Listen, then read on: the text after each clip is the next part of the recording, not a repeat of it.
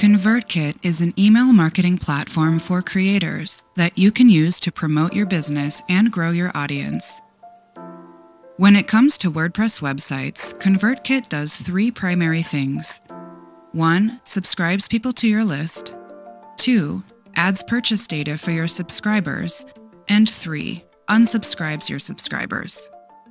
In order to connect ConvertKit to your WordPress website, you'll need both an API key and a secret key. To find these two keys, first log into your ConvertKit account. Then navigate to your avatar and business name and select Settings. Scroll down to the bottom of the page and click Advanced. This is where you'll find your API keys. Next, scroll down to where it says API key and copy the key. Under where it says API Secret, click Show to reveal your secret key and copy it.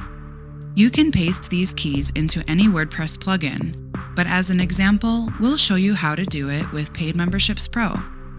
From your WordPress admin, scroll down to Settings and select PM Pro ConvertKit. There, you can paste your API key and your secret key to connect ConvertKit to your membership site and automatically add new members to your newsletter.